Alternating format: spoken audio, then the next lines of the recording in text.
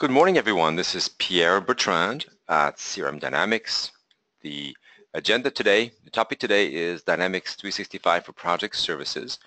I'm going to spend about 10 minutes just to give you an idea of what the beginning to end flow is, i.e. how does that tie into a full sales cycle, sales process, because it's part of Dynamics 365, which many people understand as being just a CRM package, but it's really not. There's much more in there. That's what I wanted to show today is how it ties in together. So this is meant for people that are not necessarily familiar with Microsoft Dynamics 365 CRM, just to give you an overview. So let's get started. So from beginning to end, the flow typically looks like lead, account, opportunities. So you, you start with your lead, comes in from, from a trade show, from your website, etc. You verify that it's a real lead, you create the account, it becomes an opportunity. From there you can, you can track it through the different stages of an opportunity. At one point, you might want to create one or several quotes. This then becomes a project if you get the work. And once you get the work, you then execute on the project, you and you start to manage resources, time entry, and project reporting. So I'll take you through this in a, a quick overview. From a lead perspective, just like any other CRM system, you start with your leads. You create a new lead, your screen pops up, you decide to put in there might be some information that is mandatory.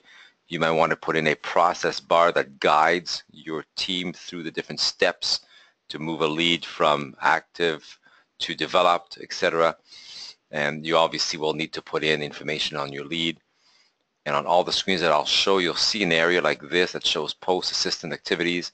That's where at one point you will see all your emails, contacts, phone calls, meetings, anything that pertains to that lead and that is useful for people to know all the interactions. And you can also obviously put in notes with attachments.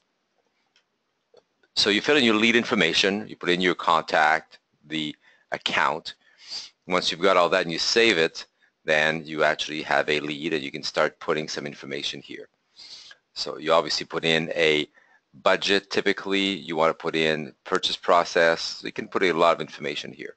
And once the lead is good and you qualify it, it becomes an opportunity. So here I show you an opportunity. It's still for Adam at Chic Department Store. It's for a CRM implementation. I'm going to use an example of a CRM or a services uh, project later on, but this applies to some of our clients are in the material handling business and they do what's called an allied installation, i.e. they set up racking.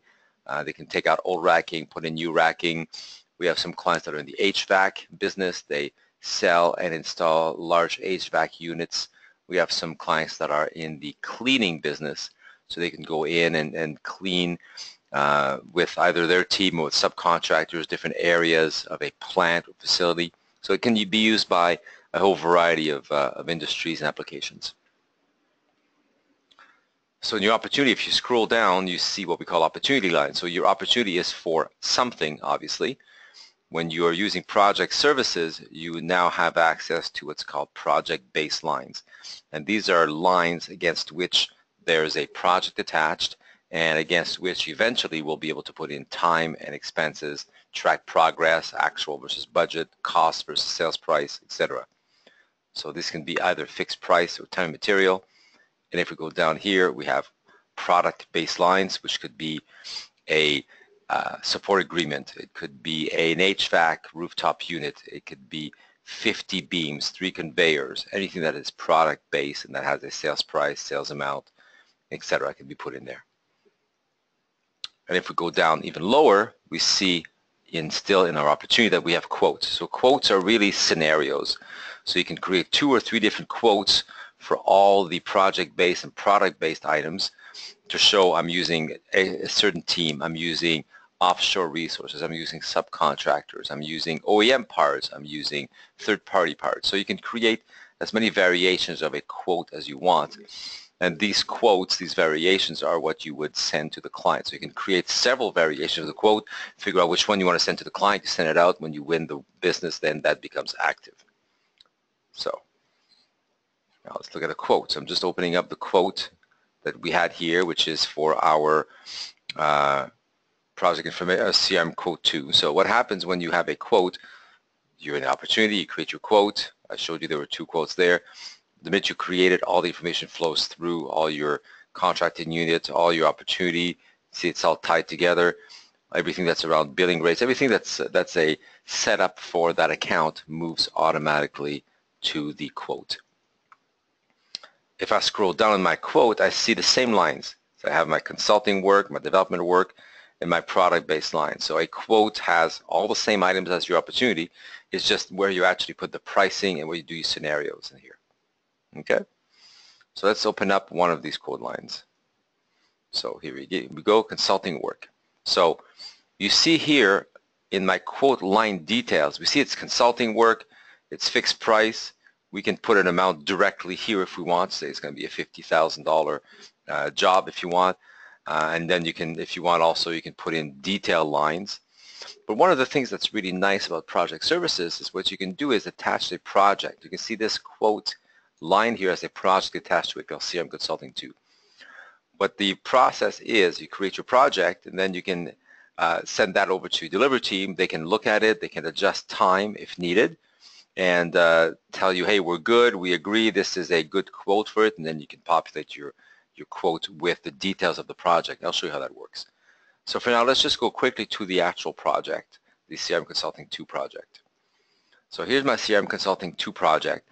Same thing again, you're in your quote line, you create your project, the minute you pick your customer, all the information moves through, so it's no, you don't have to re-enter anything the fact that I picked a, uh, that I've got a project here, I created this project using a template. So what it does is automatically, based on my start time, puts in a finish time, estimated hours, estimated cost.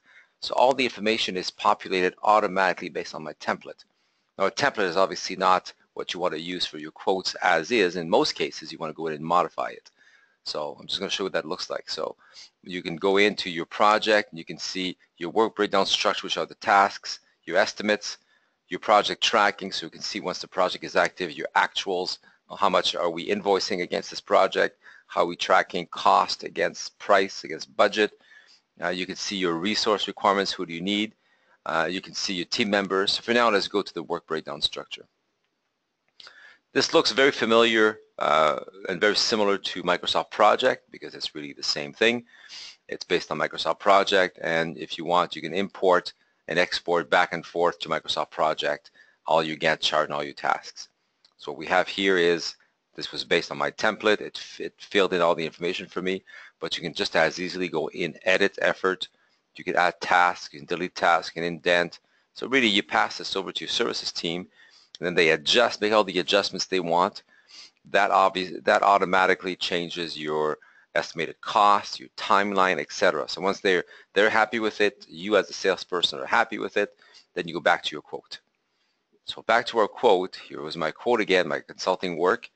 Here's my CRM consulting 2. So there's something called import from project. So what I'm going to do is import from project all my quote details. So you can summarize if you want by uh, task type, by role, etc. Then when you bring it in, before my quote line details were empty, now I have all my quote lines. So you're able now to send to the client not just a quoted amount, but if you choose so, you can give them all the detail of what their project is going to be comprised of uh, and who's going to do it. And you can pick which columns you show them and, and really customize this to be able to give them a quote that matches what they want to see. So you've got your opportunity you create your opportunity lines, you create a quote, you won the business. So let's look at, at once you win the business, how that works. So back to the project. So we have our project, we won the business. So we now want to generate a project team. You can see here with our tasks that we have tasks that happen at the same time. So if we have 40 hours required by an analyst in a given week and another 40 hours for the same week required by an analyst but for a different task, but the same role, that means we'll meet two analysts for that week. So what Generate Project Team does is it looks at all your tasks, the timing, the role that you need, and how much of that time you need per week. It is going to figure out how many people you need for each role and when they're needed. So when you click on that, and you then see, but my project team members, it, it assigns generic resources for now. When you actually assign someone, it'll show the name of the person. But it shows functional consultants, I need someone from this date to this date, someone from this date to this date. See, there's no an overlap. 120 hours, 40 hours, and here's the assigned hours. So you can see all the details here. So you have different options. So you can pick a resource, and you can go in and maintain bookings, and you can book the resource. So if you want to give your project manager or your resource manager the capability to go in and book their resources themselves, you can do that, and I'll show you that. The other option you have is to submit a request. So if you have a centralized person managing your staffing, you can submit the request. You can pick the resources that you want, submit the request. That then goes into a queue. If I'm the resource manager for your project, I would look at the queue. I would pick the requirement. I would pick a resource for you or a subcontractor or wherever else I think, whoever else I think can do the work. Will assign it. Then you would see then your project uh, resources being assigned. The third thing you can do is if you have large teams, if you have two, three, four hundred people, you can enable resource sign up. So you can show on an app that have got these 4, 5, 10, 20, 70 projects available. Here's when they start. Here are the skills that are required. And here's that how that matches to your skills. So if I'm someone that is a subcontractor for, to you, for example, and I have access to this application, I can see what's coming down the pipeline. I can say, oh, I've got someone available that can do this work. I can basically express interest, so I've got the skills, here's what I can provide, here are the hours, and here are the tasks that I can help you with on your upcoming projects. Let's look at the booking. So I've picked a, re a requirement. It shows me uh, filters on the left. So the screen that shows me you can pick uh, to be able to clean this up. You can pick if you want a organizational unit, if you have different branches, business units, you can pick contacts, user, you can add subcontractors or teams. So if you have a lot of resources, this list might be quite long, so you might not want to see everyone. So this basically allows you to filter it down so that it's more manageable. And here it only shows you people with the right skills, obviously. Uh, so here, if you put, if you pick this resource here, for example, there'll be 40 hours. If you pick this resource, they'll be overbooked. So it shows you who's available, who's got what booking. It shows it to you against the, the weeks. It shows you how many hours you need for this person. What you can do is pick a couple different people on the list and compare. So what happens, I've picked Bernadette, I've picked Diana. It shows me their comparative skills. It shows me the target utilization, if they had different costs. If Bernadette, for example, was making 120 bucks an hour, but Diana was making 70, it would appear here, and all the, the, the numbers would be adjusted appropriately. So you can pick the resource you want, click Book Resource, and the person is booked. If instead I had picked, as I mentioned to you earlier, submit the request, if uh, I'm the approve, approver or the resource manager, I go to the resource request. I can see all the different requests that people have made for people for resources. I can see which projects are for, the range, and same thing. I can pick uh, a resource. I can click Find Resource. It brings up the same screen for me. It shows me all the people that are available, uh, what hours they have booked already, and then I can basically pick someone and I can go ahead and assign the resource.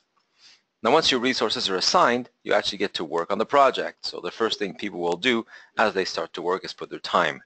So time entry, this is what the screen looks like. You basically pick the day you want to put your time entry in. You pick your duration. You pick the type of work it is. You pick your project, your task. It'll show you if you want just the ones that you're assigned to. You can put some comments that are internal, some comments that will appear on client documents, and then you save. Once you save a couple different entries, what it does is it, uh, it allows you then to submit them. So this is an area where you can you can pay, you can put your entries in for one, two, three days. It shows you a summary. It shows you what you previously submitted for the week, your grand total for the week. So if you end up being 80 hours, there might be a mistake. But if you're if you expected to report 40 hours, you'll, you'll see that you're under 40, so you still need to put in some entries in there. So then you submit and it goes against the project. You're good to go. If you look for, uh, and once you submit it, if I'm the one approving entries for your project, I see all the entries. I can pick one. I can, uh, when you pick it, you can approve it. You can modify it. You can change it to billable, to non-billable. You can increase, decrease the numbers. So very easy for people to manage all the different requests. Back to the project, you can see a couple different things. So I'm back to my same project here. There's something called the actuals associated view. So this gives you all the different entries against your project. So you might have some inter-organizational entries. It might be someone working from another organization, another business unit on your project. You might have some cost entries. You can see basically all the time and everything that's happening on your project. If you're looking at the project information or the summary, you can see, ah, I've got 1.75 hours on my project actual cost 210. but I've got a budget of 2,500 hours, so I'm really well within my budget. So estimated cost 19.2, cost consumption 1.09. So you're very, very low at this point. All your details are here. Now, if you're the resource manager, you also have access to another screen. So this is what we call the scheduling board. If you pick projects here, it shows you all the different resources that you have for your projects, and then you can drag and drop if you want project tasks that are unassigned directly onto different resources. We can set it up so that when you highlight a project task, it shows you only the people that, with the right skills uh, on the list here. So if you want to see who's, who's busy doing what, this is a really easy way. You set up your filters here. You say you want to see only a team or only a branch.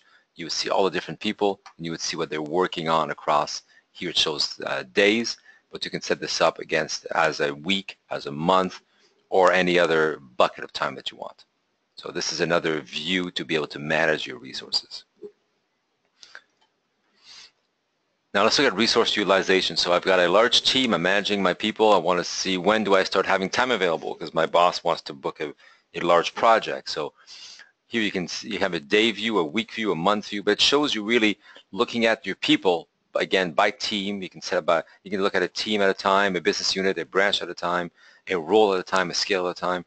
Shows you who's available and and what kind of booking they have against their time for a given period.